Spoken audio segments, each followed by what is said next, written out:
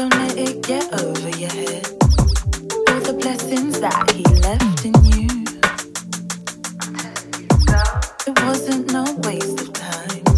You gotta just free the mind. Use it. Never.